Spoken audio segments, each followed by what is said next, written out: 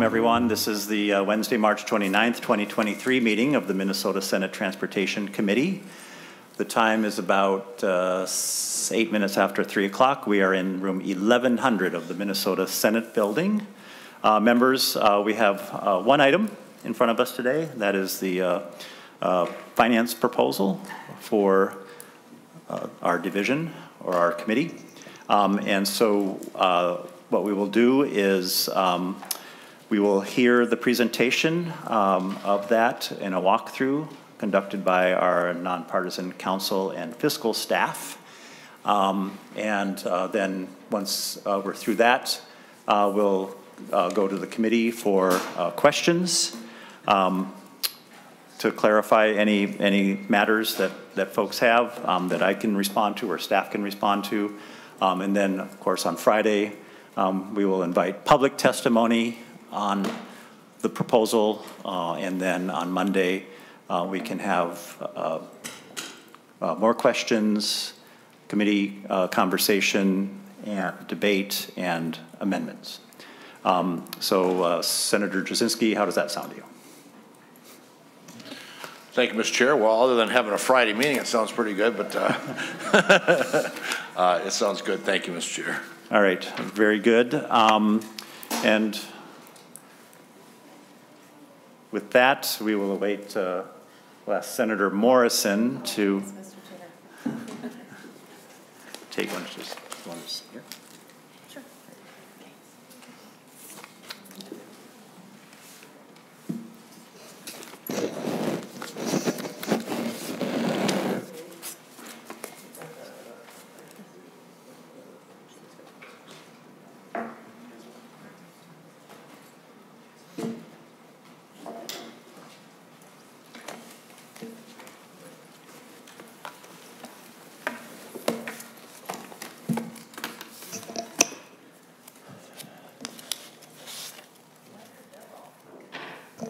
Senator Dibble, Mr. Chair. Um, thank you, uh, Madam Chair. I would like to start uh, simply by uh, moving the A1 amendment to Senate File 3157. Very good. Uh, the A1 Authors Amendment. All those in favor, please say aye. Aye. aye. Opposed? Nay? Okay, the amendment is adopted. And thank you, Madam Chair. I don't think I will um, spend uh, a lot of time uh, framing up or giving context to the bill because I'd like, um, you know, all of that debate and, um, and uh, you know, sharing of our perspectives on the proposal to occur on Monday, other than to say um, we've seen all the potholes, uh, both on our local roads as well as our state trunk highway system. Uh, we are aware, of course, that uh, Metro Transit uh, has uh, upcoming fiscal cliff. Um, continuing on the theme of transit, the suburban opt-outs have needs, and they brought forward proposals, and Greater Minnesota Transit has has got a lot of gaps and needs. And so, just um, you know, I'm really, really proud of our state. Um, you know, it is the state with the some say fourth, some say fifth largest roadway system in the country. Um, that's something to be really, really proud of. Uh, we have we have had a, a good transit system uh, in years past. Um, it's lacking right now with a lot of service cuts and, of course, a lot of the conditions of, of insecurity and public safety on the transit system. Um, and we have this kind of ex, this not kind of this absolute existential opportunity and challenge in front of us in terms of our environment and the contributions that transportation makes to um, climate change. And so this bill uh, aspires to address all of those issues. Um, we are in a time of declining revenue in all of the transportation supporting funds, whether that's you know property tax can't meet the need for local roads, and then all the dedicated sources that flow through the highway user tax distribution fund um, uh, have uh, have been on the decline or not rising, which is kind of a paradox in this moment of surplus federal funds, and you know of course we, we raise revenue at a time when, when family budgets are stretched. And so, um, so this bill is, you know, is a, is a fairly strong uh, step forward, but there is always a return on investment in transportation. So with that, I will conclude, and um, I will, let's ask um, our counsel and uh, fiscal staff to help us understand the proposal a little better. Thank you, Mr. Chair. And before counsel does that, I just want to note that in accordance with the rules of the Senate, the following members will be participating remotely in today's hearing. Senator Port from Burnsville, Minnesota, and Senator Hawj from St. Paul, Minnesota. And with that, I will defer to counsel. Uh, Thank you, Madam Chair and Senators. Um, I'm going to walk through, rather than walk through the language of Article 1, I'm going to walk through the spreadsheet, which has all the appropriations in Article 1. Um, And I'll try to be as brief as I can. Uh, I just want to orient you to the spreadsheet first. Um, It's arranged by agency, um, and then uh, division, and, um, and separate budget areas. And then the, what we'll be looking at is the Senate columns, which is on the far right. In the middle are the governor's recommendations for comparison, but we're just going to walk through the Senate pieces, and I'm just going to highlight the change items and not talk about the base amounts too much. So for instance, on lines 12 and 13, you'll see the base amounts for aeronautics, and then uh, the lines underneath in each section will be the change items. So on line 17 is the first change item. Um, This is part of a governor's rec package to uh, meet the match requirements for the federal IIJA infrastructure money. Uh, And there'll be a number of these throughout the spreadsheet. I'll just point them out that all, I believe, all of the governor's recs were picked up on this, on this issue. So that is 26 million one time from the general fund for aeronautics for the IIJA. Line 18 um, was a governor's rec to pay for, uh, to pay for aeronautic systems and investments one time with general fund, and the Senate has picked up that item, but paid for it out of the state airports fund on line 19. Uh, Next, moving to aviation support and services under aeronautics, um, line 29 is part of an overall governor's rec to maintain current service levels at the agencies, and this is to pay for things um, like step increases, benefit increases, things like that. So just to, to bring all the, the um, funding of the agency as it is up to, up to level, I suppose. So line 29 is part of that, and that's from the general fund for aeronautics. Um, And then on line 31, that's another governor's rec, that's $7 million one time to replace two utility aircraft at the department. Moving down to Greater Minnesota Transit, the change items start on line 43. Um, And again, a governor's rec, uh, part of that maintaining current service levels in this area. And the next line, 44, is some one-time money, 68 million from the general fund as part of the IIJA match for um, uh, formula and discretionary grant funds.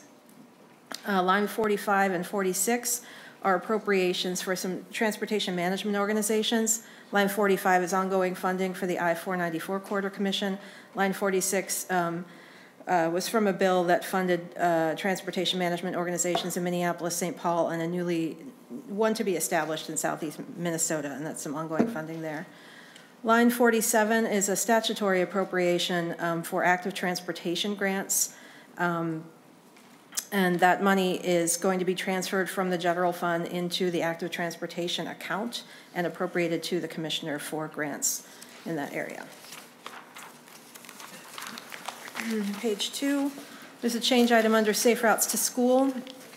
There's one-time funding in 24 and 25 on line 54 of 10 million each year, and then an increase to the base by 1 million um, starting in 26. So the total for safe routes every year would be 1.5 million from the general fund. Line 61 is a change under passenger rail. This is um, ongoing uh, operations funding for the Twin Cities, Milwaukee, Chicago rail corridor. Uh, The funding in the last budget bill um, funded a second train on that rail corridor, and this will be operating money, and that's general fund, ongoing. Line 62 is a one-time appropriation from the general fund of 50 million for the Northern Lights Express uh, rail corridor.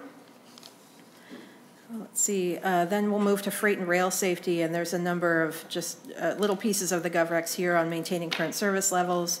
Freight and rail safety is funded by both general fund and trunk highway money, so there's pieces from both of those on 69 and 70.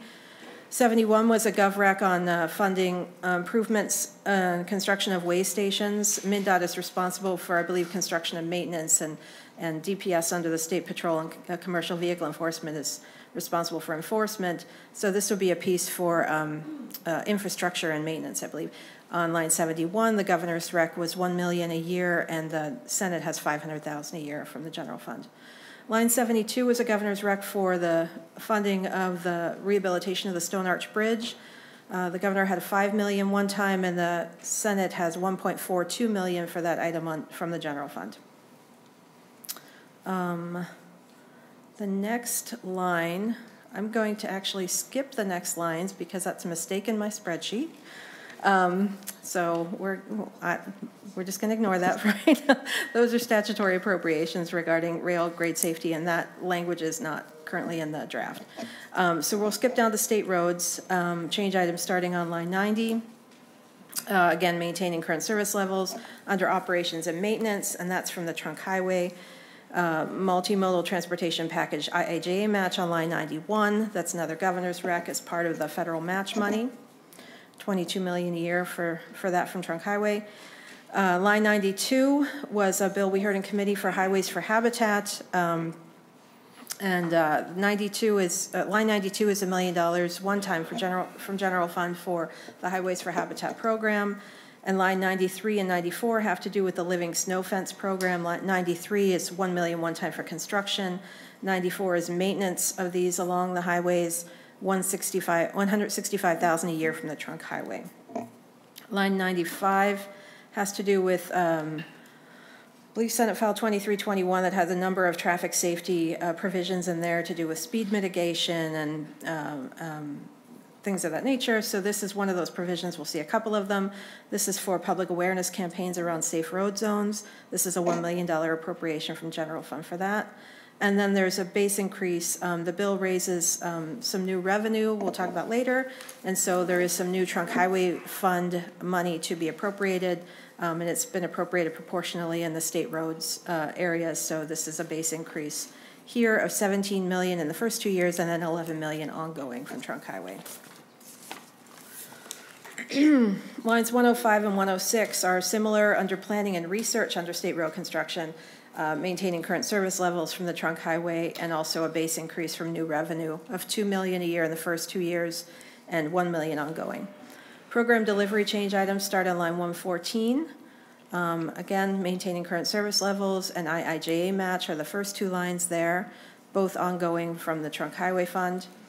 Um, Then there's a, one- line 116 was a governor's rec as well to maximize federal transportation climate funding, and that's been picked up at 2 million a year from the general fund. Line 117 um, was in the revised governor's recs on clean, uh, clean fuel, a working group on clean fuel- fuel standard economic impact. Um, And this was a 250,000 appropriation for the working group and a study from the general fund, and that GovRec has been picked up on the Senate side. Line 118 uh, was a bill uh, we heard in committee on land tra- transfer and Upper Sioux Agency Park, I believe. Um, And this was the MnDOT piece. There was uh, an old trunk highway that needed some appraisals and demolition work as part of that land transfer, and that is a 1.193 million appropriation from the general fund in the first year. Uh, Lines 119 and 120 are part of that traffic safety um, uh, bill that we heard, speed mitigation on both rural high-risk highways and in work zones, and those are one-time appropriations totaling um, 20,300,000 on lines 119 and 120. And then again, another base increase from the new revenue raised in the bill for program delivery, 11 million uh, each year in the first two years, and then 7 million ongoing from trunk highway. State road construction starts on, uh, the change items are on line 130 and 131.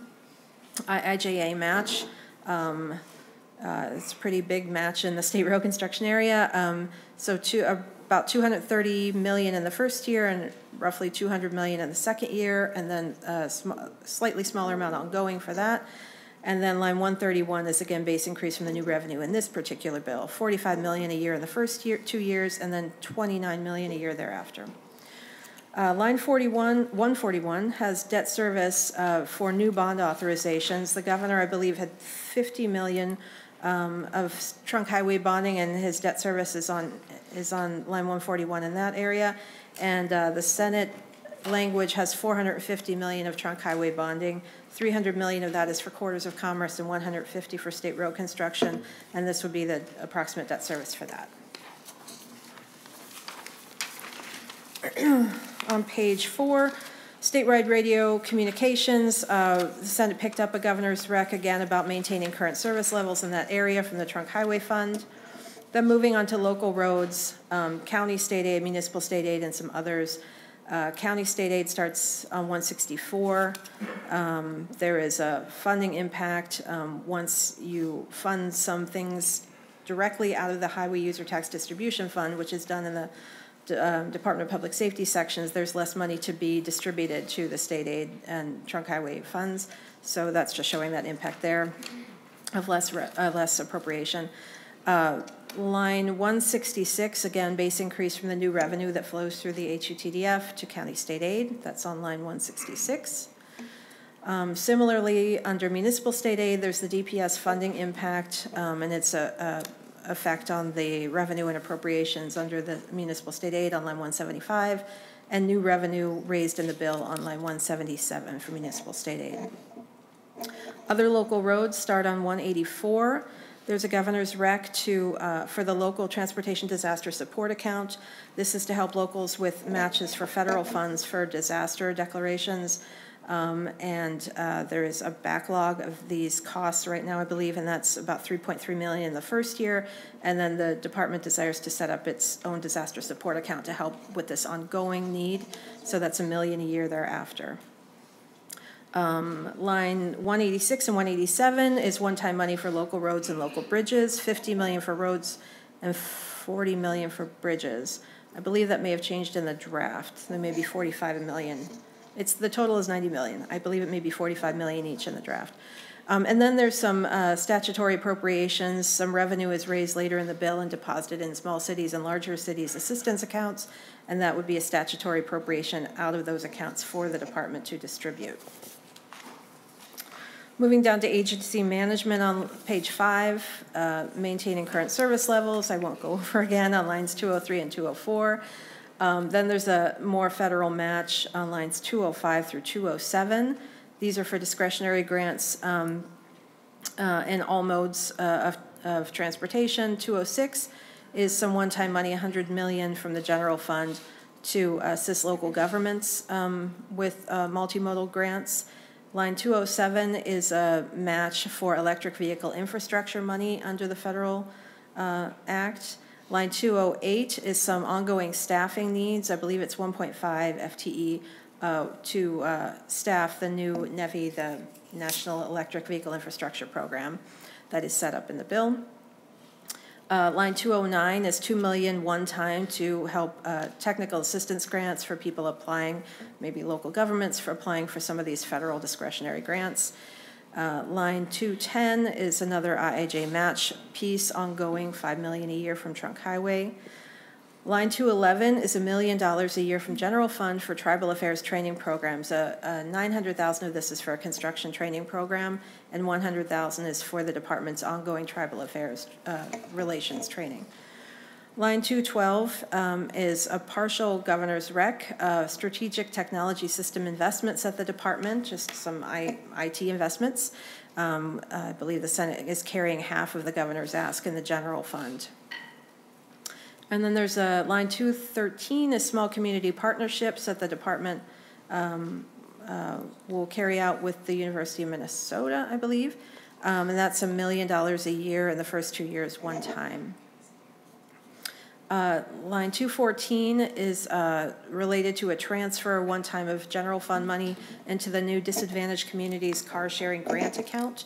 And that 500,000 statutory appropriation will, is showing up here, and those grants will be made um, to car sharing um, uh, agencies, organizations in disadvantaged communities. Uh, Line 223, under buildings, is just another maintain current service levels amount from the trunk highway fund. And then we are done with, oh, no, we're not. Line 224 um, picks up in the tails, that's why I didn't notice it. And this is eliminating an open appropriation that is meant to come online in fiscal year 2026. Um, Currently, the MnDOT central office building costs, as are most of the operating costs, covered through trunk highway fund appropriations. Um, And this in 2026 was going to shift it to as an open general fund appropriation, and that is being repealed in the bill. So that shows some uh, less appropriation there for that. We'll move on briefly to Metropolitan Council on page six. Uh, There's a Uh, Line 249 is a one-time $50 million appropriation from the general fund for the Blue Line Extension, Light Rail Transit, um, the Bottineau line. And then on line 250, there's a $1 million one-time appropriation for a land use study that is, um, that is uh, authorized in the bill under Met Council. Uh, And then moving down to Department of Public Safety, um, I'll- I'm just going to breeze through the governor's recs on 265, maintaining current service levels. These are are sprinkled throughout, and this is under admin and related services at DPS. So that would come from the general fund on line 265. Uh, The governor had a recommendation to increase FTEs at the department to uh, bolster their administrative services on line 266, and there's a partial uh, fulfillment of that GovRec uh, from the general fund on the Senate side. Public safety support, uh, notable here is, let's see, uh, on line 276, that is a governor's rec to increase oversight staff, state rail safety, and that's a $20,000 a year general fund appropriation. Um, And I believe that is oversight of light rail safety on that line and not heavy rail. Uh, Line 277 is a partial governor's rec on community engagement, again, increasing FTEs to do more community engagement with, from the department. And then another piece of the uh, DPS administration piece under public safety support, and that's a partial governor's rec as well. Moving down to page seven, uh, technology and support services under admin at DPS. um, uh, Again, picking up some general fund and trunk highway fund, governor's recs on maintaining current service levels at the department. Then we move to state patrol, starting on line 312. Uh, There's a fiscal year '23 appropriation, one time of 6.7 from trunk highway for an operating deficiency under patrolling highways. Um, Another maintain current service levels here, uh, again from the trunk highway, because the state patrol is funded primarily through trunk highway. Uh, Then there are, there's a governor's rec for a one-time uh, helicopter purchase, uh, 14.5 million, one-time from the general fund on line 314. And along with that, on line 315 is money from the trunk highway fund of 1.7 million a year for additional uh, pilots and other maintenance and upkeep on the helicopter. Lines 316 and 317 are similar. Uh, This is a desire for the department to be accredited under, uh, I believe it's called the Commission on Accreditation for Law Enforcement Agencies. And the governor's request was uh, about 611,000 in the first year and 350,000 in the second year from the general fund. Um, And the Senate did pick up that rec, but is funding it from the trunk highway fund. And then on line 318, there's a- another one from the governor's revised recommendations, um, a one-time general fund appropriation of 350,000 for a facility design for a new state patrol facility. And the Senate has picked up that recommendation on line 318. Uh, Commercial vehicle enforcement, again, maintaining current service levels on line 328, again from trunk highway as our almost all state patrol. And then on line 329, that's another governor's rec as a federal match under, uh, a a state match for federal money under commercial vehicle enforcement, and that is to be able to um, hire more uh, officers under commercial commercial vehicle enforcement. And that is, uh, the full governor's rec was picked up at about 5.2 million a year from trunk highway. Uh, Capitol Security has uh, maintained current service levels on 336. These are from the general fund, as that is the only part of state patrol funded through the general fund and their base. Page eight, we, oh, page eight, uh, the top of page eight is the Vehicle Crimes Unit under State Patrol, and they have a small operating deficiency on line 343 in fiscal year '23. And Vehicle Crimes Unit is funded directly out of the Highway User Tax Fund, and that's why that money is coming out of there. Then we move on to driver and vehicle services, uh, uh, line 358. Um, The department has begun using uh, an open appropriation that already existed in law um, to fully fulfill its um, um, plate production um, uh, program. And because there was a money, an amount for that already in their direct base appropriation, this is reducing that and giving, you know, money back to the account balance. Um, And let's see, line 359, uh, this is a governor's rec on, I believe, three or five new vehicle inspection sites. So 1.6 million in the first year and 1.3 million uh, thereafter from the special revenue fund. And then um, there's some staffing increases related to some requirements under the independent expert review provisions, which we'll get to soon. Um, And then 362 was um, statutory distribution, the 10 million a year in the first two years is, um, yeah, 10 million in the first two years is transferred from the general fund to a new full-service provider account, full-service providers being both driver's license agents and deputy registrars, and those distributions would come out of that in the statutory appropriation. The account will have some money thereafter, about 1.3 million from a surcharge that is collected to that account. Driver services, uh, the governor had a recommendation to pick up the cost for the driver's licenses for all bill. That law has been enacted and those appropriations were in that bill. It was not picked up on the Senate side. Um, That's another governor's rec to uh, uh, collect race and ethnicity info on driver's license credentials, and that uh, recommendation was picked up there.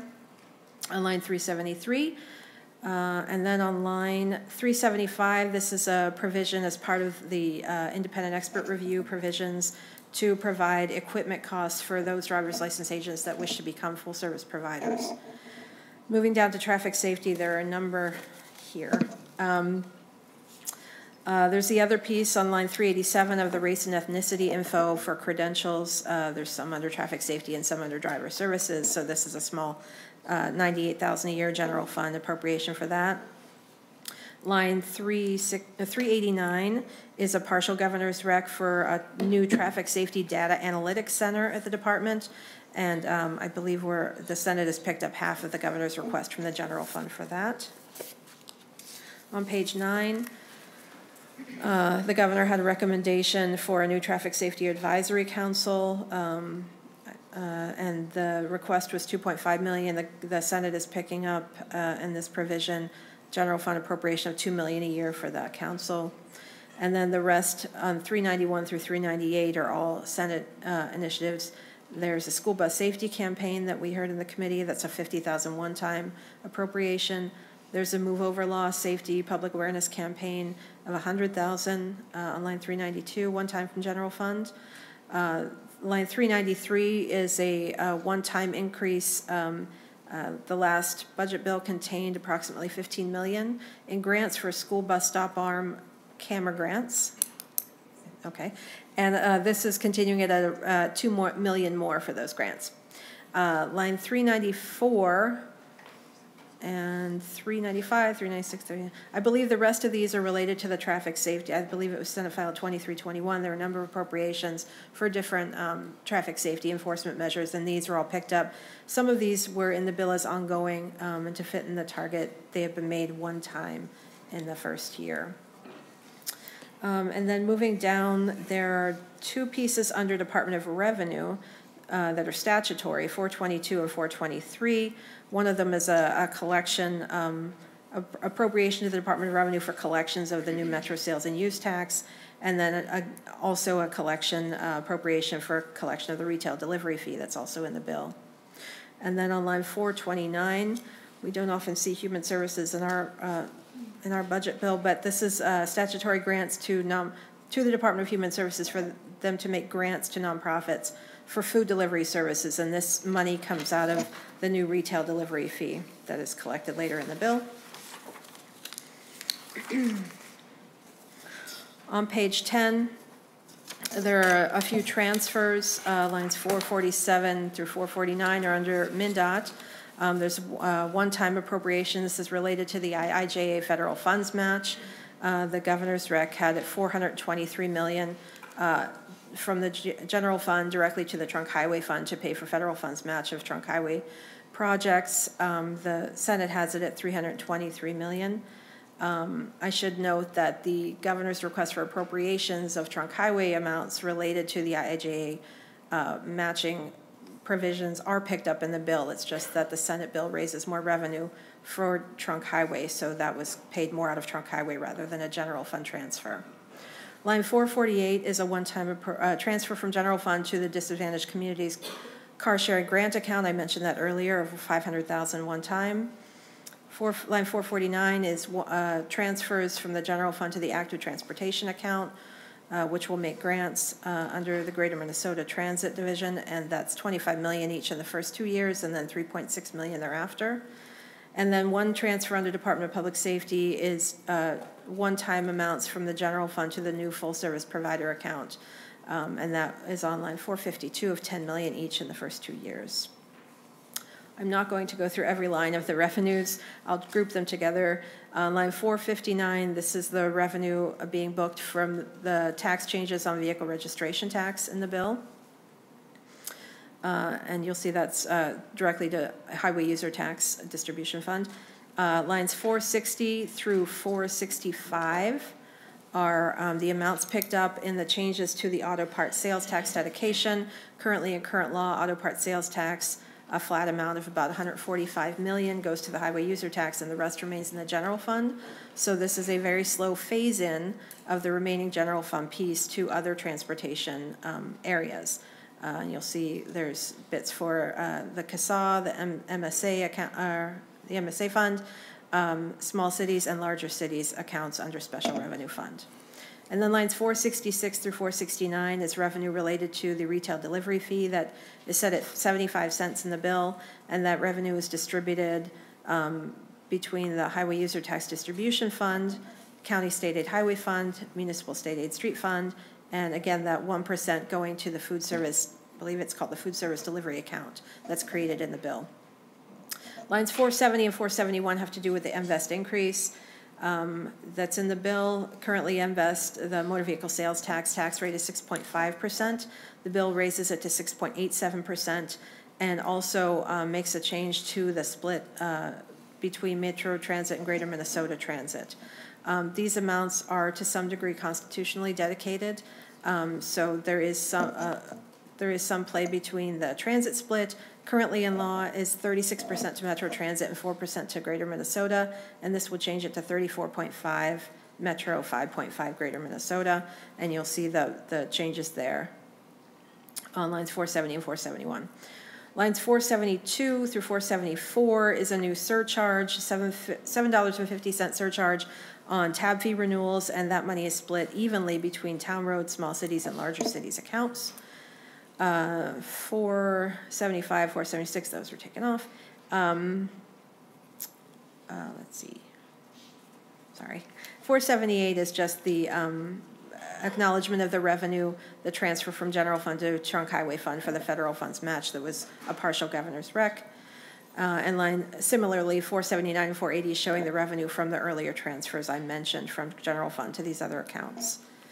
Under Metropolitan Council, there you see revenue on lines 484 and 485 from uh, the new uh, 0.75% uh, Metro sales and use tax in the metropolitan transit area. Uh, 0.625% of that would uh, go to transit, and 0.125% of the 0.75 would go to local county roads. And then uh, line 486 is just the metro transit piece of the MVST increase to 6.875 and the transit split shift. The line above on 471 was for the greater Minnesota transit piece.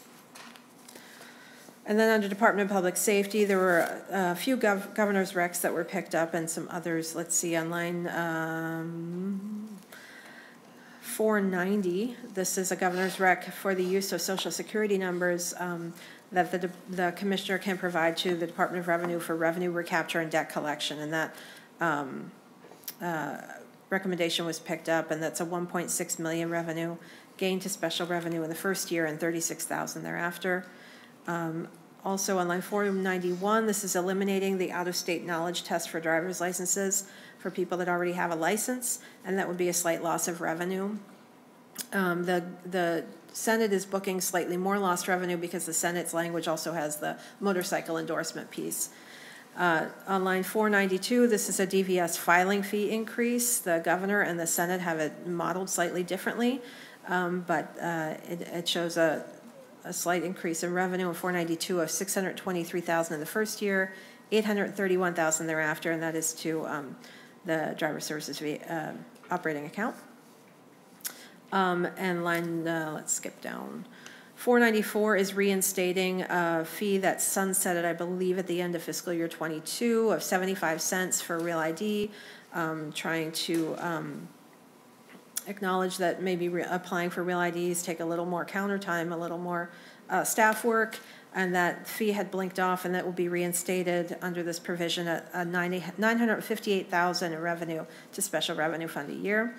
Uh, 495 is an increase in the fee for driver's licenses and identification cards, and uh, that is the governor's rec, and that is booked to bring in 8.9 million a year to special revenue. Line 497 is a provision we'll hear about later that uh, allows full-service providers to issue certain credentials, certain records that now only DVS can provide. So those um, fees would now go to full-service providers, and this would be a loss of revenue, 130,000 a year for DVS. And then 499, uh, line 499, just those shows that uh, transfer again from general fund to the full-service provider account one time. Uh, Line 503 shows some income tax, tax interaction with increasing the vehicle registration tax. Um, Since income taxes, um, uh, that can be claimed as a deduction, and income taxes may uh, have a slight revenue decrease uh, from the general fund. And then on line 504, the Metro Sales and Use Tax, that is uh, uh, revenue to the Department of Revenue for collecting, uh, from the proceeds for collecting the tax. Lines 507 through 5010 is just a summary line we do when we raise revenue for highway user tax, showing how it flows into the trunk highway, CSAH, and MSA uh, account- uh, funds. And then just briefly, on the back page, this is a summary of the general fund spending and revenues netted out in the bill. What I'll point out is, uh, there's not a line number, but under the, uh, spread, under the box, there's a general fund target of 1 point, 1.07, I can't say that, 1 billion 75 million um, in 24, 25, and 130 million in the tails in 26, 27, and then a comparison box showing the current net impact in the bill compared to the target. There's $5 million currently on the bottom line in the, cur- uh, the next biennium, and zero in the next biennium. That's a little rounding error there. And that is the spreadsheet. Um, I'm going to move on, Madam Chair, very briefly to the bonding article is Article 2. And I think I already mentioned that, so just very briefly, um, if you're looking in your A1, it starts on page 29, I think. 29.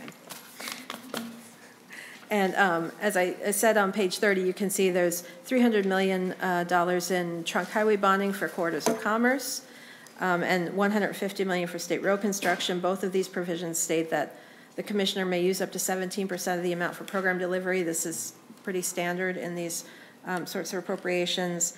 Bond sale expenses in section three, um, uh, the usual amount of 400, comparatively, 450,000 to the Commissioner of MMB for selling the bonds, and then the bond sale authorization of these amounts on page uh, 31. And then Article 3, I'm going to go through quickly and then hand it over to Mr. Greenfield. These are um, some of the transportation finance pieces that I've mentioned briefly. uh, That starts on page 31. Uh, Section 1 is establishing uh, a statutory appropriation from the Small Cities Assistance Account that already exists in law. Since now the bill is uh, dedicating some revenue ongoing to the Small Cities Assistance Account, it makes sense to um, make a statutory appropriation to the commissioner to distribute those on an ongoing basis. Um, And li- uh, Section 2 and Section 3 are just conforming changes to that uh, to that section of statute and making it a statutory appropriation. Uh, Section 4 on page 32 is the creation of an analogous larger cities assistance account. Um, The differentiation, of course, is small cities are those cities that are not eligible for municipal state aid funding because their population is less than 5,000. Larger cities is for those cities that are eligible, but uh, MSA funding only goes towards state aid routes, and there is no dedicated funding for the, um, the local roads in those cities. And this this assistance account will collect revenues raised in this bill and then distribute them. You'll see that uh, in subdivision two there at the bottom of 32. Uh, Section five uh, is the changes to the vehicle registration tax. Um, On line 33.9, you'll see the tax rate change, 1.285% to 1.575%. Um, You may notice a blank, I just want to point out on line 33.5, that's a technical change that um, is still being worked out, but it's the same, uh, same effect of the revenue. Um, Let's see, and then on page 34, Another change to the vehicle registration tax is a change to the depreciation schedule upon which the tax is calculated. It's a slight slowing down of the depreciation schedule. Um, um, And then, but by the 10th year is still, it winds up at 10% of the price. And then the minimum tax is changed on line 34.16, so that the minimum tax you would pay on an older vehicle would be $30 and not 35. It's under current law. Uh, Section 6 through 10 all have to do with uh, establishing the new retail devel- delivery fee. So I'll just go through those really briefly. Um, Section 6 is definitions related to it. Um, Section 7 is actually imposing the fee. It's a 75 cents per delivery. And, um, yeah, that just imposes the tax. Uh, Section 8 on page 36 uh, states certain exemptions from the retail deliver, not a tax, a fee, retail delivery fee. Um, And uh, specifically on lines 36.8, 36.9, um, exempts clothing from the exemption. So the retail delivery fee would, would apply to delivery of clothing as well, if that's correct. Yes. Okay. Uh, Section 9 has to do with just collection administration of the fee, um, how that is handled and who administers it. Section 10 is the deposit of the proceeds.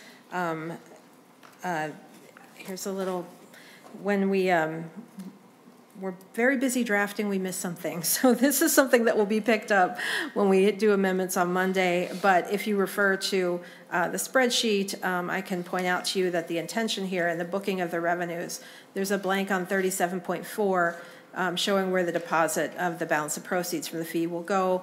And um, the intention is 70% to the Highway User Tax Distribution Fund, 20% to County State Aid Highway Fund, 9% to Municipal State Aid Street Fund, and again, 1% to this new food delivery support account created in the next section. Uh, So 1% would go into this account in Section 12. That money is appropriated to the Commissioner of Human Services for grants to nonprofit organizations to provide transportation of home-delivered meals, groceries, etc. Section 13 is, um, this is allowing the Department of Revenue to recover costs that they incur when collecting the retail delivery fee, as they do with recovering costs related to other fees or taxes. Uh, Section 14, um, it lists, uh, Section 14 lists the delivery fee as one of the delivery charges that is not included in the sales price when calculating sales tax. Uh, Section 15 um, has to do with auto parts sales tax. So the, the change you'll see mostly at the bottom of page 40 and, and on page 41, um, that the existing, as I've said, the auto part sales tax right now, a flat amount per year, 145.6 million, uh, calculated monthly, is deposited in the highway user tax fund. This would change that allocation. Um, on 41.9, 47.5% in each year would go to the highway user tax, so a percent rather than a flat amount.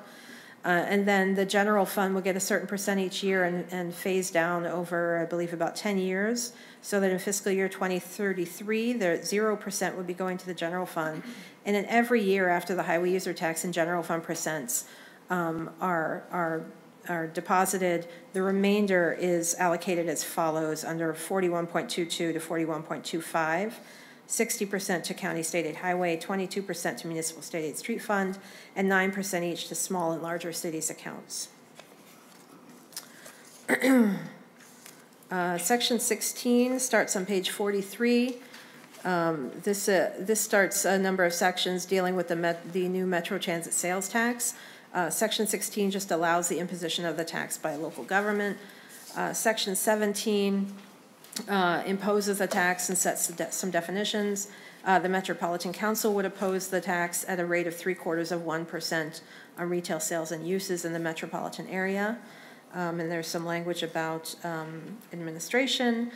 Uh, Lines 44.19 and 44.20 have to do with the deposit. All the proceeds are deposited in the existing metropolitan area transit account. Um, uh, Subdivision 5 allows the Met Council to issue revenue bonds secured by the proceeds of the tax. Moving on to Section 18 on page 45, this has to do with motor vehicle sales tax. Uh, Currently, motor vehicle sales tax is collected at a rate of 6.5. This increases it to 6.875. And then on uh, Section 19, this is a change to the revenue allocation under MVST that I touched on earlier. The change you'll see is at the top of page 46, um, changing the percentages to the Metropolitan Area Transit account and the Greater Minnesota Transit account. Section 20 allocates the proceeds of the Metro uh, sales and use tax. Uh, On on subdivision two, you'll see five-sixths of it goes to the Metropolitan Council, one-sixth goes to the Transportation Advisory Board, and then subdivision three use, uh, lists some uses uh, of the funds that Metropolitan Council uh, can use it for. Uh, Specifically on forty-six point twenty, it starts that the council must annually expend a portion of sales tax revenues in each of the following categories, so there is some prescriptive language there. Um, And then on subdivision four, there's use of funds by the Transportation Advisory Board of that one-sixth of the tax. These are for grants to highway projects in the metro area. I want to point out, there's another drafting mistake, and I'm, I apologize for this. Subdivision five is, is not intended to be in this language. Um, That starts on four seven two four, so that will be struck in the next technical amendment, I believe. Um, And then there's some uh, just administrative pieces about the metro sales tax. And then that, we get to Article 4, and I can turn it over to Mr. Greenfield to move on. Thank you, Ms. Boyd. Mr. Greenfield. Thank you, Madam Chair and Chair Dibble. Uh, And Article 4 is Senate File 2099. This is the bill that was heard by the Transportation Committee on March 10th uh, and implements many of the recommendations from the uh, independent expert report um, submitted to the legislature uh, in January of 2022.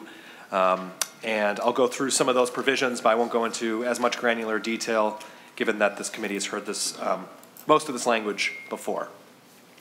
Section one provides the definition of a full-service provider in the vehicle registration statute.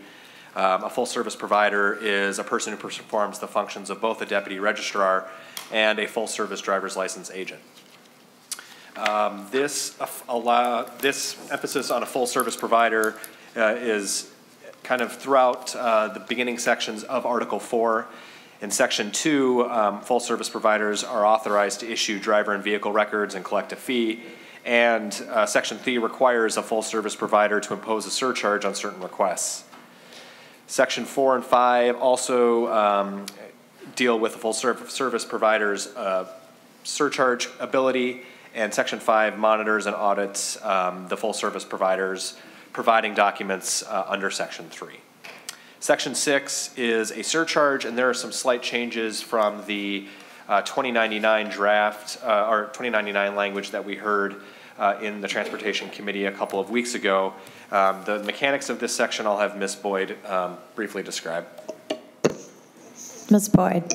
Thank you, Madam Chair.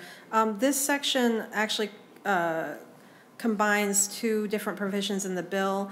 Um, I spoke earlier about a $7.50 surcharge on um, uh, the, every filing fee for vehicle registration renewal, and that's in this section of statute two, which is why it ended up in this chapter. So that's on line 51.13 and 51.14. And then on the next page, starting on pa- line 52.12, it shows the disposition of the revenue related to that surcharge. So those aren't, that isn't really an IER proposal. The IER picks back up on 52.19 in this uh, section, and that is the online surcharge of $1, uh, which will be deposited, uh, online surcharge, uh, every online transaction charges a dollar surcharge. And the proceeds from that will be deposited in the full service provider account and distributed to full service providers. And then paragraph H, um, the deputy registrar uh, surcharge on uh, in-person transactions of 50 cents, those are retained by the deputy registrar.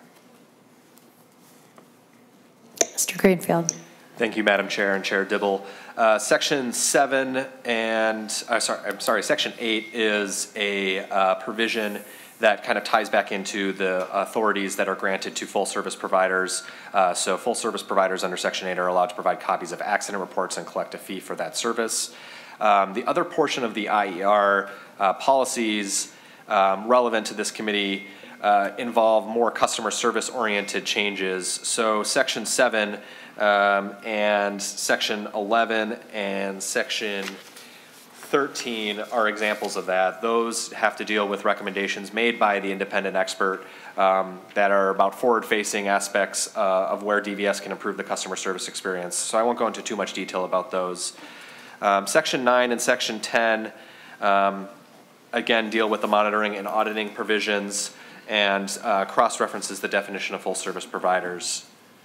Uh, I want to turn now to section 12, which can be found on page, uh, sorry, 30, uh, 56, starting on line 14.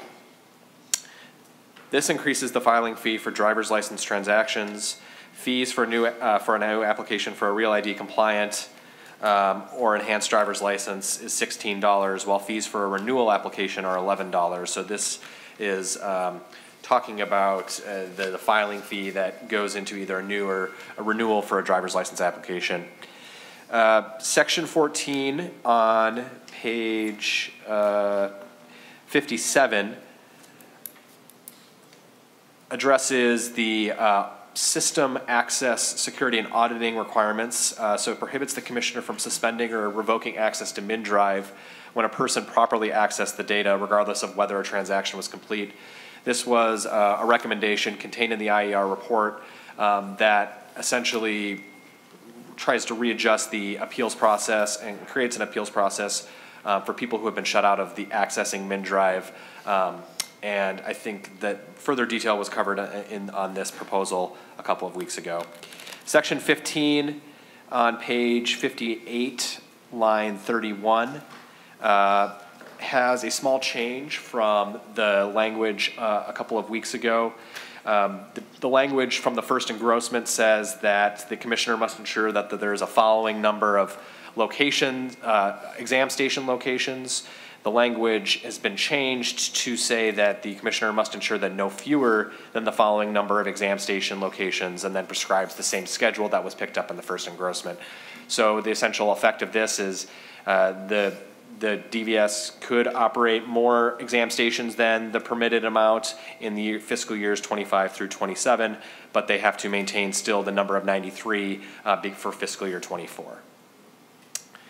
Section 16 is the uh, waiving written examination requirements if a license was issued from another jurisdiction. I'll note there's a small technical change to add United States territories to the eligible jurisdictions for waiving written examination requirements.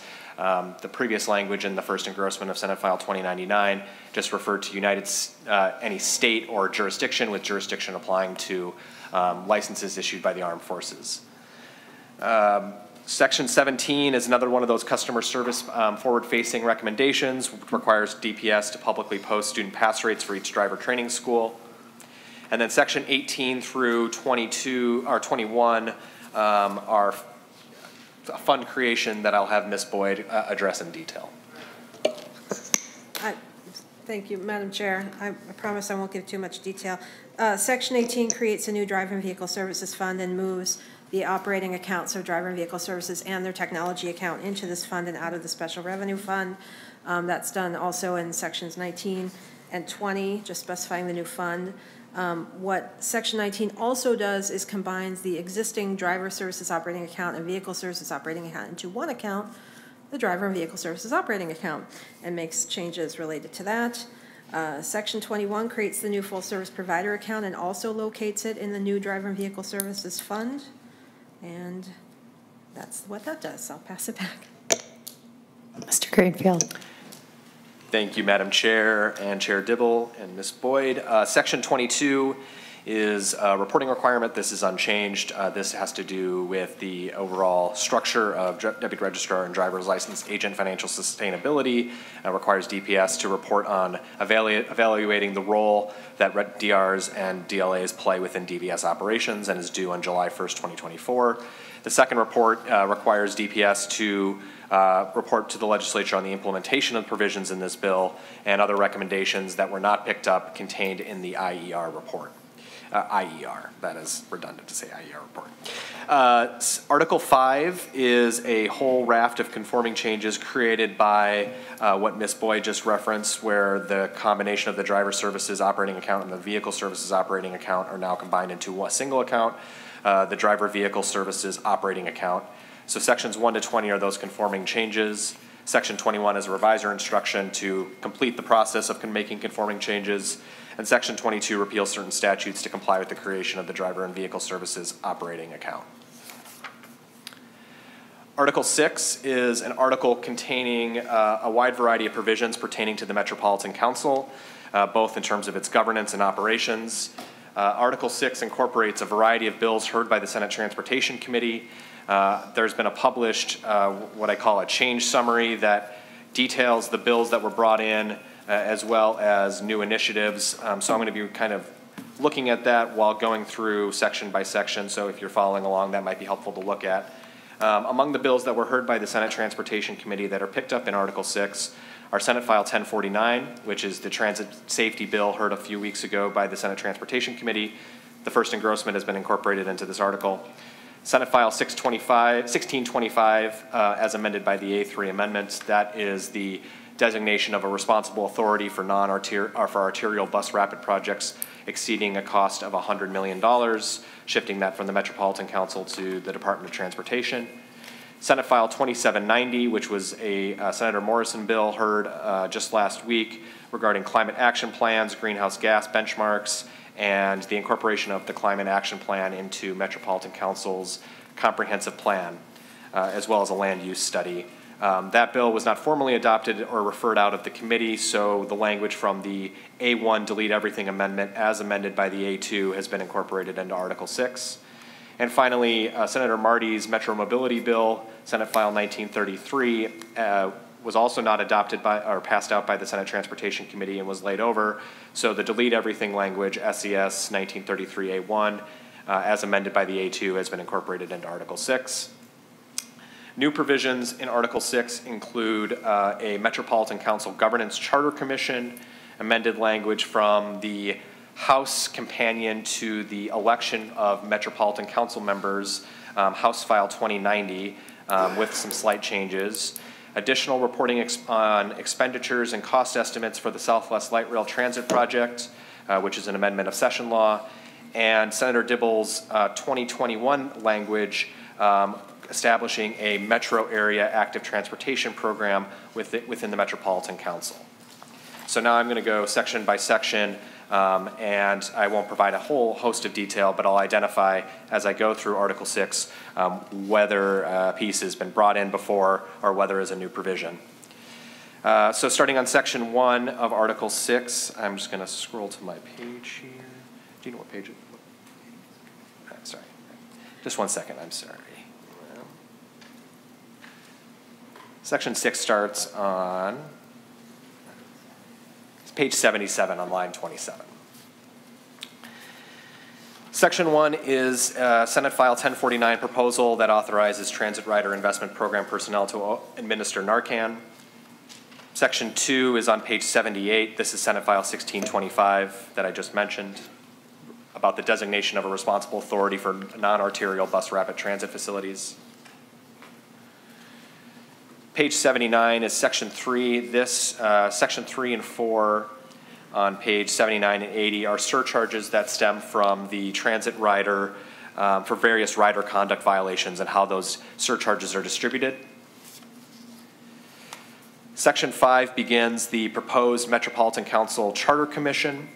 Uh, Section 5 um, designates a legislative uh, delegation of all elected members of the House and Senate whose legislative district includes a portion of the seven-county metropolitan area, Carver, Hennepin, Scott, Anoka, Ramsey, Dakota, or Washington. Um, It requires that the delegation, legislative delegation, has a chair from both the Senate and a chair from the House. Um, And they uh, function as co-chairs of the Metropolitan Council Legislative Delegation. Uh, Section, these Metropolitan Governance Council provisions are effective August 1, 2023. Section 6 uh, establishes the nominations and appointments provisions for the Charter Commission. Um, Within 30 days of August 1, the Metropolitan Council Legislative Declaration, Delegation has to nominate 38 persons as candidates for the appointment of a Charter Commission to frame a Metropolitan Council governance charter. Two persons from each of the 16 Metropolitan Council districts are, and six at-large candidates also shall be nominated. Uh, Nominated persons cannot be an employee of a city or county, an elected official, or a registered lobbyist.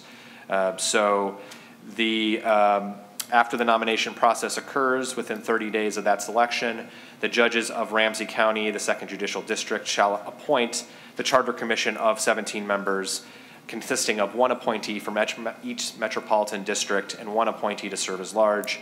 Uh, The reason is located in Ramsey County is because that is where the Metropolitan Council is located. Uh, The terms of the Charter Commission, uh, the members hold their term until December 31, 31, 2024. Uh, And there is a a provision that if the charter is adopted at the November 2024 election, the members shall continue to serve until a new commission is appointed or until the effective date of the charter that's been ratified by the voters, whichever occurs first. Within 30 days after the appointment, the Charter Commission has to meet, elect a chair, and establish rules, operations, and quorum procedures. Subdivision 4 on page 81 provides for the expenses and administrations of the Charter Commission.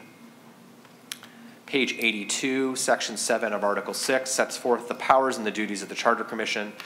And before December 30, uh, 31st, 2024, the Charter Commission shall deliver to the Metropolitan Council a draft of a proposed charter. Uh, The charter must be signed, or the report must be signed by a majority of the members of the Charter Commission and may provide for any form of government consistent with the Minnesota Constitution and may provide for the election of Metropolitan Council members. Upon delivery um, of that charter, Section 8 governs the election requirements. Uh, After the delivery of the proposed charter to the Metropolitan Council, the chair must present the charter to the Secretary of the State, who then works with the county auditor of each of the seven counties of the metropolitan area to administer an identical question to the voters in the 2024 general election. Uh, And that ballot form is placed there on page 82, lines 20 to 24. Section 9 article, of Article 6 is the effective date. Uh, If a majority of all voters voting in the election vote in favor of the proposed charter, it shall be adopted and shall take effect two years after the election. Um, In the meantime, the courts are unable to take judicial notice of the charter. And Section 10 is the final piece of the Charter Commission proposal. Uh, That provides that if the charter includes a provision requiring metropolitan councils to be elected, the legislature shall amend Chapter 473 and other related statutes to effectuate that new charter provision. Um, So that would incorporate changes to state statute before the charter um, may uh, be adopted by the voter, uh, may be enacted in 2026 after that two-year period from when the voters ratify it. Section 11 is from Senate File 2790. That is not needing further detail. Skipping ahead to page 84. um, This is, uh, Section 12 is also another section from Senate File 2790. Section 13 is the um, proposal from 2021 brought in by Senator Dibble. This was not heard by the Senate Transportation Committee thus far this year, but it is a 2021 bill that authorizes the Metropolitan Council to create an active transportation program um, and essentially make, uh, award grants to political subdivisions and local nonprofits and have a, a- has a variety of project selection criteria for active transportation projects. This um, project continues on page 85 through page 86. Sections 14 through 21, beginning on page 86 and wrapping all the way until page nine, uh, the beginning, the end of page 89 are conforming changes as a result of the designation of responsible authority for arterial bus rapid projects brought in by Senate File 1625. Section 22 is a transit rider activity code of conduct. This was brought in in Senate File 1049, the first engrossment. Um, Again, the code of conduct um, must be adopted by the Metropolitan Council, and then subdivisions three and four address both paid fare zones and light rail transit fa- facility monitoring, including the placement of cameras, a public address system, and sufficient associated lighting on light rail transit stations. Section 23 on page 91 is the Transit Rider Investment Program, or TRIP. Uh, This is the, uh, the TRIP personnel program is the, uh, are authorized to issue administrative citations for certain code of conduct violations. Um, This has been extensively discussed when Senate File 1049 was heard before the Transportation Committee. Um, I'll note on page 91 that TRIP personnel are specifically authorized by the Metropolitan Council uh, to perform fare inspection and enforcement, and they are not peace officers or community service officers. So they function as some, as a separate uh, class of individuals on transit vehicles and stations. Page 92 continues the uh, prescription of the TRIP program, including the creation of a TRIP manager, uh, essentially the manag- managerial, the person in charge of the TRIP program. Uh, Subdivision four sets forth the requirements for those duties uh, uh, for the personnel.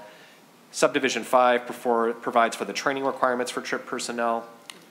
Uh, Page 93, subdivision six is the um, subdivision governing administrative citations, um, where the transit official or the, the trip personnel has the exclusive authority to issue an administrative citation to a person who commits a violation uh, in terms of fare evasion.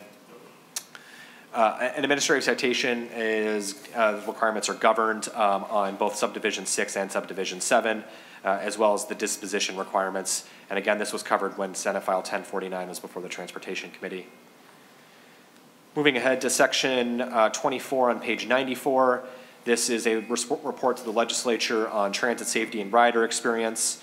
Um, This requires the Metropolitan Council to submit an annual report by February 15th to the Transportation Committees of both the House and Senate um, about the trip personnel and provide an overview on transit safety issues and actions taken by the council to improve safety, including improvements made to equipment and infrastructure.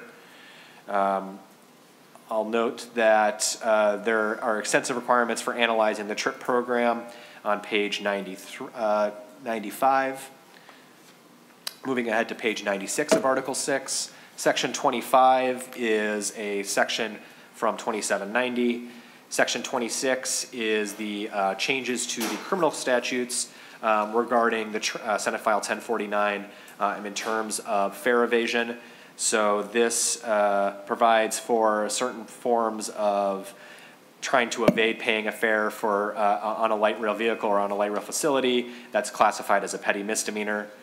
Um, On page 97, on uh, section 27, this is an additional petty misdemeanor section, uh, and this provides that littering on a uh, vehicle providing public transit service is a petty misdemeanor.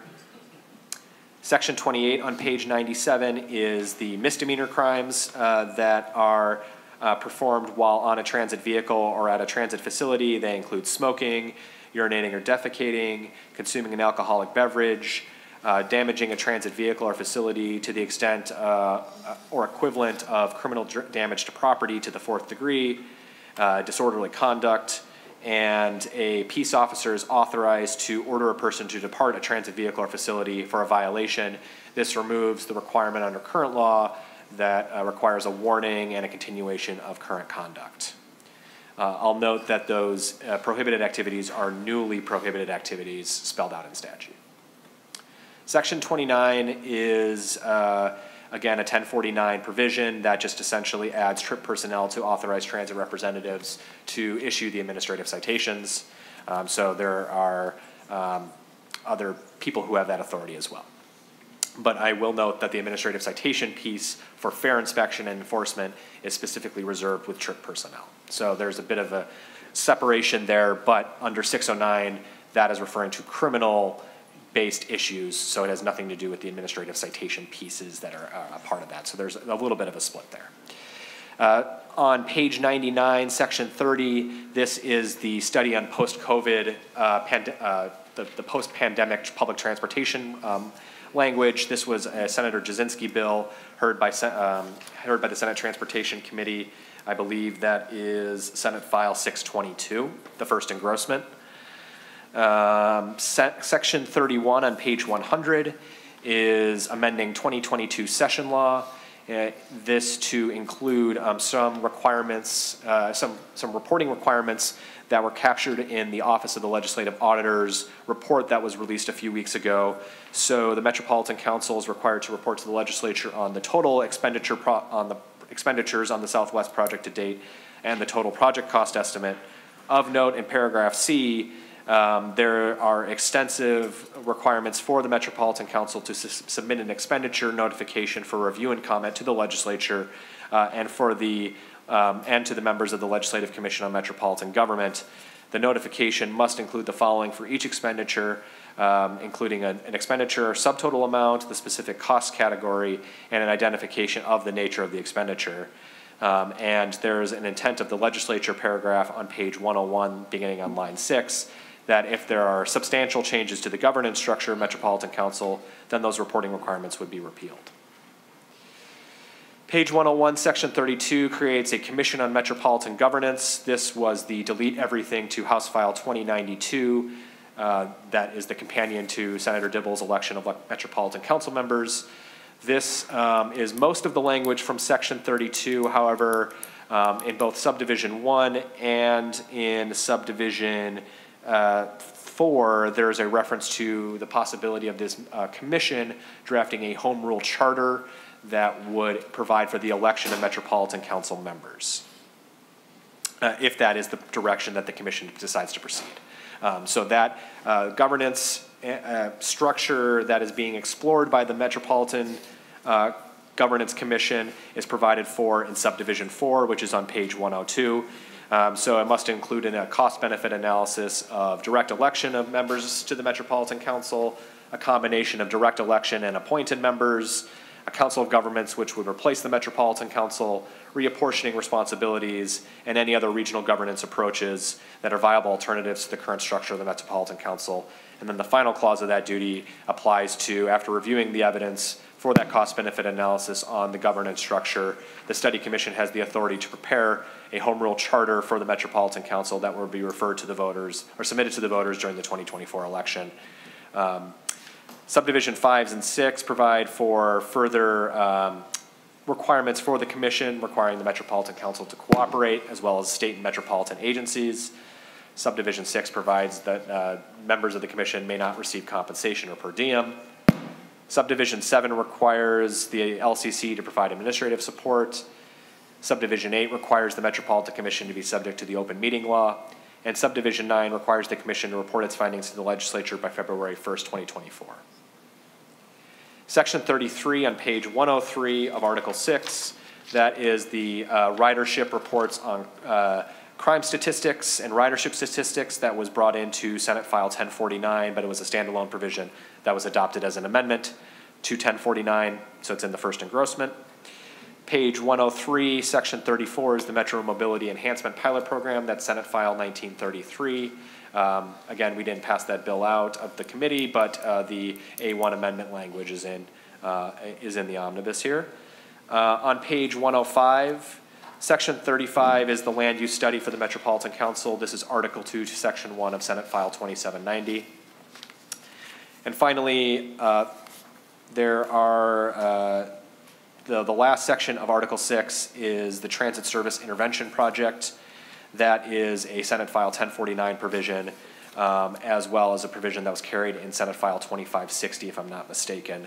Uh, and that provides for high visibility intervention with social services personnel um, beginning um, this summer. Uh, after a period of three weeks, um, Metropolitan Council is required to deploy the social services intervention teams on a mobile basis on light rail transit lines and facilities and uh, they are supposed to perform face-to-face on-site interactions with transit riders experiencing homelessness, uh, transit riders with substance use disorders, and establish coordinated intervention that consists of um, intervention with personnel from social services, community service officers, and, and peace officers. Then there's a second phase of that outreach that begins after the conclusion of the first period, where uh, there's both social services and law enforcement partners involved. Um, and the remaining provisions of the Transit Service Intervention Program, or TSIP, is set forth on page 107 and 108. Uh, of note that there is a reporting requirement um, provided uh, that requires the trip manager who is administering the transit service intervention project to submit a status report to the chairs and ranking minority members of the transportation committees. So there will be a monthly report from the trip manager to the Senate Transportation Committees on the progress and the summary of activities for the transit service intervention project. And that concludes Article 6, the Metropolitan Council Governance and Organization article. Article 7 is not changed, so I don't need to highlight too much about it. However, it is the um, entirety of Senate File 912, which is the Bill, Bill Dooley Bicycle Safety Act. Um, unfortunately, the title of the Bill Dooley Safety Act is the only section not included under this article. Um, it provides for active transportation and uh, other uh, forms of uh, services for, for uh, training for, for school children. Um, This is a first engrossment, and it's made it stop both in the Transportation Committee and in Education. Um, And I'm going to move on to Article 8 in the interest of brevity. Um, So we're going to pick back up on page 117 with the miscellaneous article.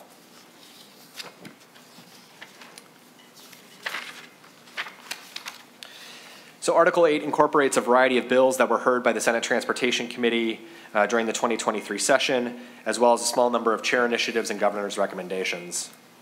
Section 1 is Senate File 723. This is uh, a small change to the data security account for the legislative auditor. Section 2 is Section 1 from 2321. That is Senator Carlson's Traffic Safety Advisory Council. Um, This language is from the first engrossment. Uh, Of note, there were changes made in committee that added additional members from the Driver and Traffic Safety Education Association, the Association for Pupil Transit, uh, Transportation, and the State Trauma Advisory Council. And these changes can be seen on page 119, lines 4 to 7. Section 3 is a governor's recommendation uh, and a chair, uh, and a chair initiative. This provides for the classification of the race and ethnicity data as part of a driver's license application. This classifies it as private data. Um, This language was pulled from Senate File 1946, which is the governor's uh, policy, our governor's budget bill. And um, of note, the change, uh, the classification is on page 121, lines 4 to 7. It also uh, specifically requires um, the Office of Traffic Safety within DPS to receive the data from DVS for the, only for the purpose of research, evaluation, and public reports. And this uh, section, um, providing for private data, is effective for applications received on or after July, January 1, 2024. Section 4 is Highways for Habitat, that's Senate File 718, that was heard by the Senate Transportation Committee. Um, Again, this bill was not um, formally passed out by the Senate Transportation Committee, um, so there were some small changes um, in subdivision 3 on page 122. um, The as-introduced version of 7 and 18 required training for department personnel. There was an amendment in committee that just said that MnDOT has to develop the training, not require it. In subdivision four on page one twenty-two, um, those standards, managements, and best practices uh, have a feasibility requirement to the beginning of paragraph B. That is the second amendment that was adopted to seven eighteen in committee uh, weeks ago. Section five is Senate File 2767. That was a Senator Jasinski bill that codified the highway purpose, non-highway purpose report from the Attorney General. Um, Of note, the language that was adopted was a delete everything, Senate File, uh, the A1, um, but Chair's initiative removed paragraph B. Um, Section six is a uh, transportation greenhouse gas emission impact assessment. That is Article three, Section one from Senate File 2790, um, Senator Morrison's bill. Um, This is not in the Metropolitan Council article because it has to deal with the Department of Transportation establishing greenhouse gas benchmark, greenhouse gas emission benchmarks. Slow down on that one. Section seven is a chair initiative that begins on page one twenty-six.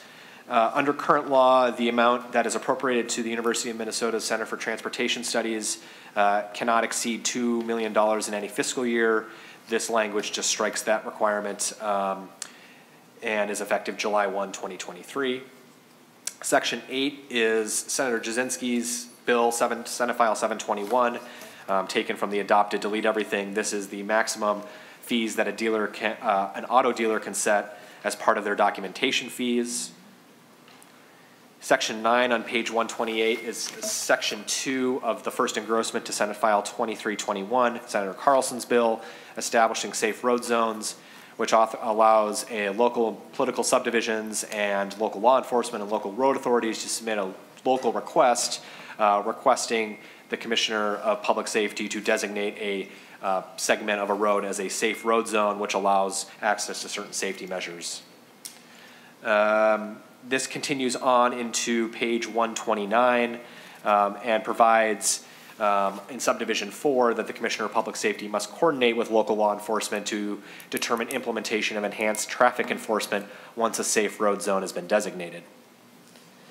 Uh, The subdivision five of this provision for safe road zones requires the Commissioner of Transportation to maintain on their website safe road zone implementation, including the identification of requests for and designations of safe road zones, an overview of the safety measures and traffic enforcement activity, and a review of annual expenditures. Section 10 on page 129 uh, authorizes a local, um, authorizes the Commissioner of Transportation to set a speed limit or either temporary or permanent upon request of the local authority uh, in a safe road zone.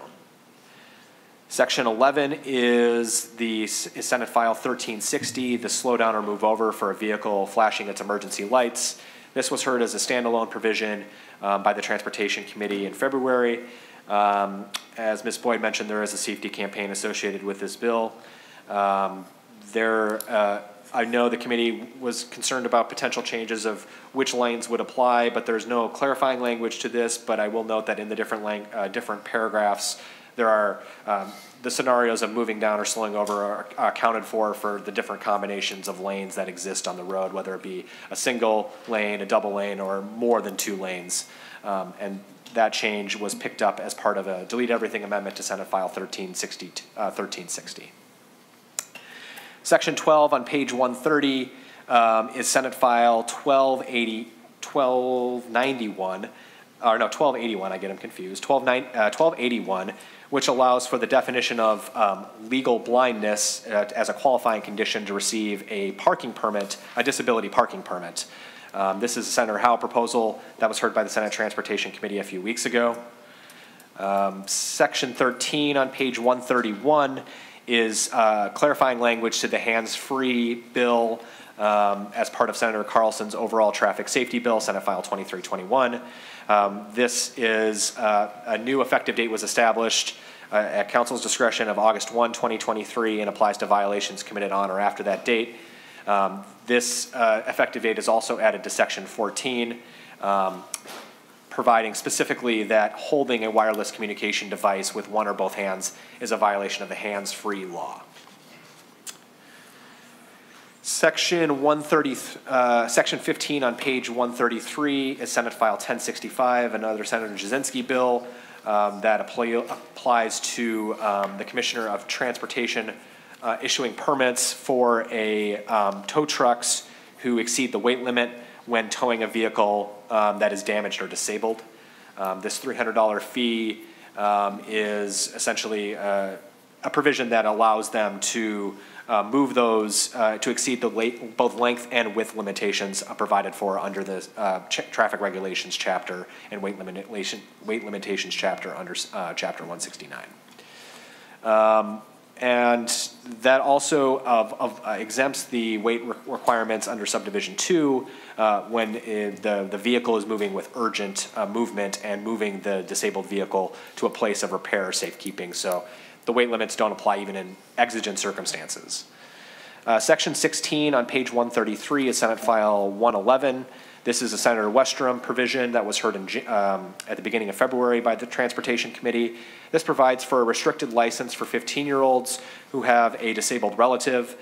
The 15-year-olds are limited to operating a vehicle for um, providing chores or, you know, providing, uh, taking their relative to a, a medical appointment, and the, the license is limited to the operations of daytime hours between 5 a.m. and midnight and within a 40-mile radius of the relative's residence. Um, This section is effective July 1, 2024. Section 17 is the first um, piece that's been brought in from Senate File 2134, Senator Gustafson's bill authorizing teleconference driver's education. This bill was heard by the Senate, um, Senate Transportation Committee a few weeks ago and was not amended. So the unamended language has been brought in here, starting on page 134, line 20. Section 18, beginning on page 136, uh, raises the fees for Real ID compliant or non-compliant driver's licenses, enhanced driver's licenses, instruction permits, enhanced instruction permits, provisional licenses, and duplicate cards, as well as Minnesota identification cards. This is a governor's rec, uh, a governor's recommendation. It's pulled from Senate File 1946, Article 3, Section 8. Um, This this uh, bill was not heard by the Senate Transportation Committee, so it is a chair initiative, but it is also a governor's recommendation, uh, increasing the fees of driver's licenses, real ID compliant cards, and other uh, forms of identification. Section 19 is um, on page 137. This is the um, second piece of the race and eth- uh, ethnicity classification um, chair initiative slash governor's recommendation that allows the um, uh, voluntary uh, indication of an applicant's race or ethnicity on a driver's license or identification card application. Um, This begins um, for applications beginning on, on or after January 1, 2024. Skipping ahead to page 139 on line 12, this is Senate File 1281. Um, This is another Senator Howe provision uh, um, that provides for an expansion of the veteran designation on driver's licenses. Um, It provides that a retired member of the National Guard or Reserve component of the United States Armed Forces is uh, uh, eligible for the uh, designation, veteran designation on their driver's license, and provides clarifying language on page 134, 139, line 24, about the types of discharge papers that are allowed um, to prove that veteran status. Uh, This is unchanged from uh, when Senate File 1281 was heard by the Senate Transportation Committee and is effective August 1, 2023.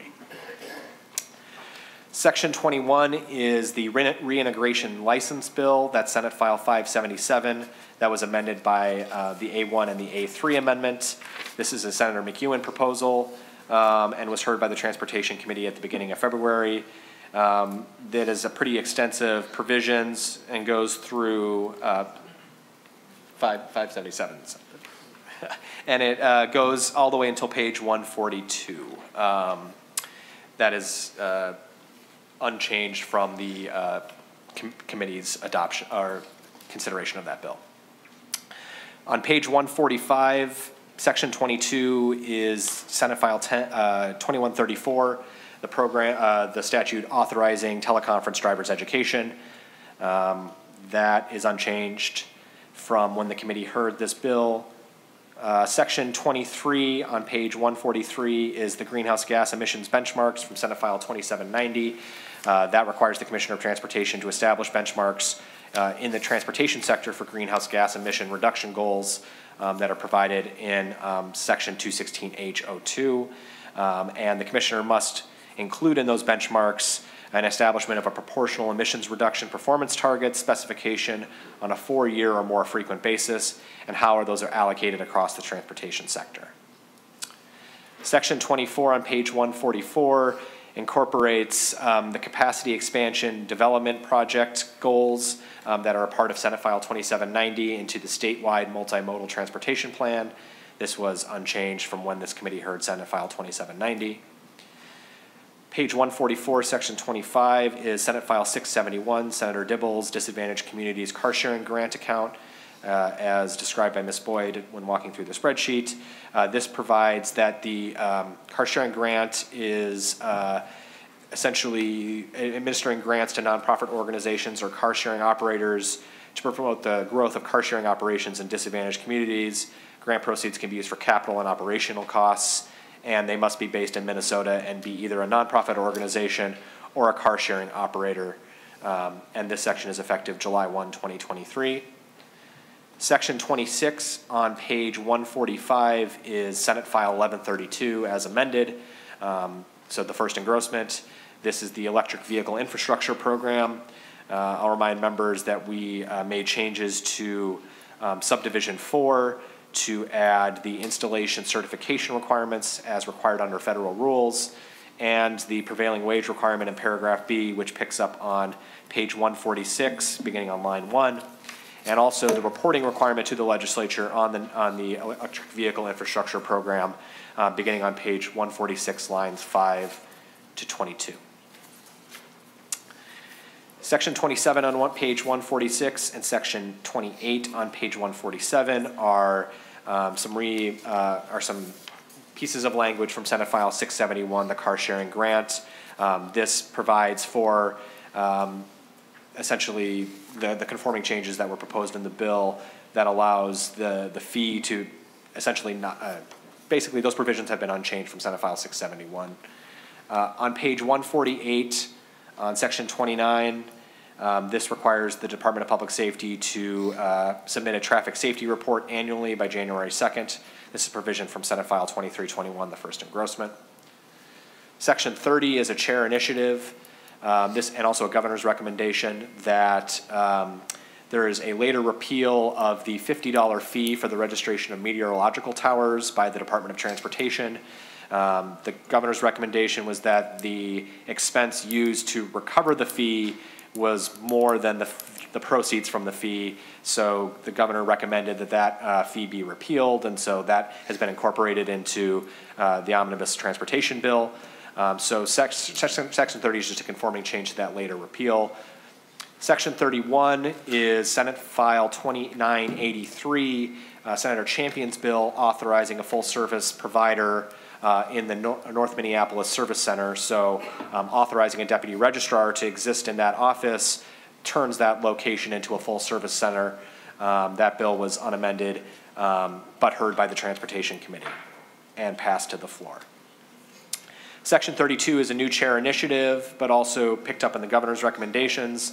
Uh, This includes um, Senate File 2538 and Senate File 2753's ambitions um, to explore clean transportation fuel standards as well as the Sustainable Aviation Fuel Working Group. So the working group has essentially a two-track purpose and and involves the commissioners of the Pollution Control Agency, Transportation and Commerce, to develop a clean transportation standard for transportation fuel supplied and used in Minnesota. And the task force must also uh, begin exploring the parameters of sustainable fuel aviation production um, piece in Minnesota. They also must work with aviation industry representatives to determine the production levels necessary to allow the aviation industry to meet their 2050 zero emission targets. Um, and they also must, uh, as heard in testimony for Senate File 2753, figure out the uh, emissions, uh, life cycle emissions production model, uh, because there was some consideration and, questions from committee members about what was the, the proper model. So the task force has to solve that problem and, and provide a recommendation and report to the legislature, which is picked up on page 150 in paragraph C. Uh, At the beginning, at the bottom of page 150 in section 33, this is section one of 1562, Senate File 1562. Um, That is the technical assistance grants.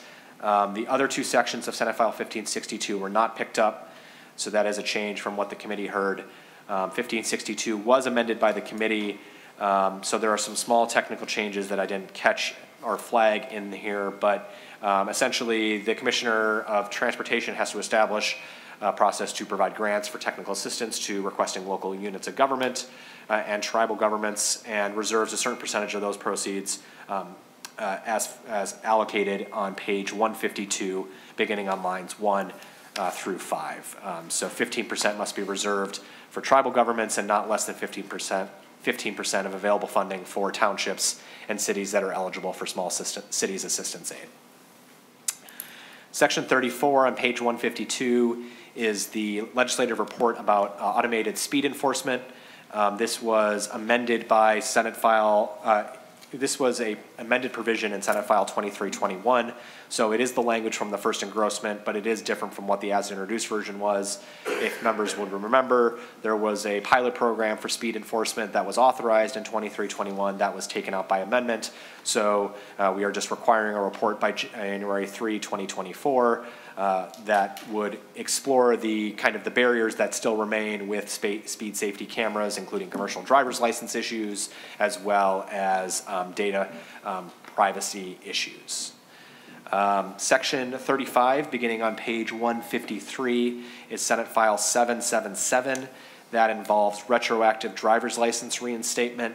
Um, So there are certain petty misdemeanors slash failure to appear um, provisions that have been repealed, so that is why there is a reference to Minnesota statutes 2020.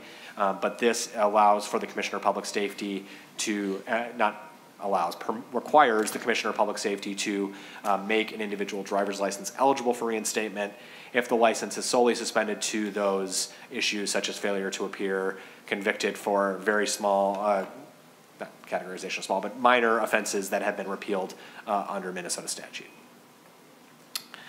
Section 36 on, on page 153 is another provision from Senate File 2321. That is the traffic safety violations disposition analysis. So that works with the Center for Transportation Studies to study um, traffic dispositions over the last five years um, for, to, to, to evaluate trends, the rates of citations issued, and um, the amount of times that courts uh, impose costs uh, of, and fines uh, on, on drivers. And that report is required, uh, a final report is required on January 1, 2025 to the legislature. Finally, section 37 is a repealer, so I'm going to break them down paragraph by paragraph. Paragraph A repeals two sections of Minnesota statutes, the first of which is what Ms. Boyd said, uh, if you can remember, about um, the MnDOT Operations Center. Um, There was an amendment in 2021 session law that shifted that away from the trunk highway fund into the general fund as an open appropriation. That um, has been just repealed. Um, That is 16745. There will need to be a conforming change brought into a technical amendment, um, but that's not currently in this language. That would remove um, the operations of MnDOT's Operations Center um, in the definition of non-highway purposes, but that is not currently in this language in the A1 amendment. The second repealer statute in paragraph A of section 37 is the meteorological tower fee requirement, the $50 fee. um, That was a governor's recommendation and a chair's initiative. Paragraph B are repeal, is repealer language that's unchanged from Senator Jasinski's Senate File 1065, the tow truck weight exemption bill. And paragraph C repeals rules governing teleconference drivers' education and online adult-only education um, for Senate File 2134, and again, are unchanged. There are a few effective dates that have been brought in, so paragraph B is effective August 1, 2023, which is consistent with the permitting language, and paragraph C is, is effective July 1, 2023, which is also consistent with when the program for teleconference drivers' education is authorized. I think that is everything in Article, Article 8, and um, the rest is, of the bill is just a title. Phew. Thank you, Mr. Greenfield and Ms. Boyd. Uh, uh, Chair Dibble, what is your preference? Do you want to say a few words, or should we? It looks like we have a little time for member discussion. Um, Yes, I was going to mention just a couple of things quickly. Um, uh, uh, Senator Jasinski and I are going to work on some language. Um, Hopefully, we'll have something in time by Monday that- that's responsive to some of the recommendations of the Southwest LRT uh, Legislative Auditor's Report. Um, I know that um, there is a proposal of Senator Fateh's around electric bike rebates. Um, So that's out there, we'll hear that and consider it as a committee and decide if we support that.